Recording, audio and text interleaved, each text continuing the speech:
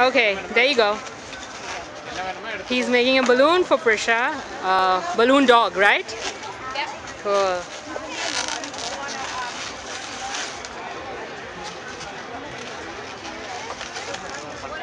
Wow.